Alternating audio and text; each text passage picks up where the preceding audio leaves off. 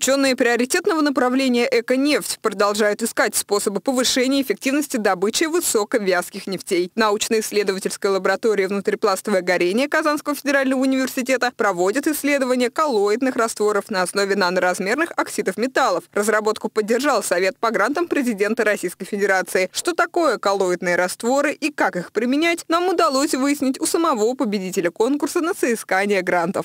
Наноразмерные Растворы, это, так скажем, коллоидные растворы, это оксиды металлов, они стабилизированы в каком-то растворителе, может быть это вода будет или органический растворитель, а с помощью стабилизирующих веществ, веществ в основном это поверхностно-активные вещества.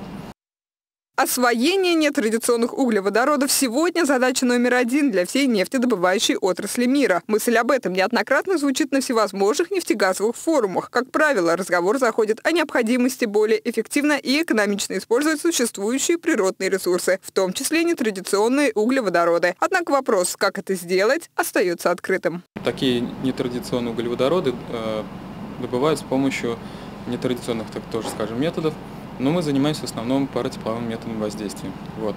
И для вот, э, интенсификации вот этих процессов при паротепловой обработке э, мы предлагаем использовать каталитические системы, Ноу-хау ученых приоритетного направления «Эко-нефть» позволяет доставлять катализатор в нужную точку и не активировать его раньше времени. Другое направление, на реализацию которого будут получены средства гранта президента Российской Федерации, связано уже с коллоидными растворами и наноразмерных катализаторов. Нетрудно догадаться, что в состав таких растворов входит вода, либо это могут быть различные органические углеводородные растворители. Не случайный выбор группы металлов для синтеза катализаторов. Дело в том, что железо, никель, кобальт и медь – из самых дешевых по сравнению с остальными переходными металлами. Поэтому катализаторы на их основе не только эффективнее, но и экономически выгоднее. Это для потенциальных заказчиков вопрос немаловажный.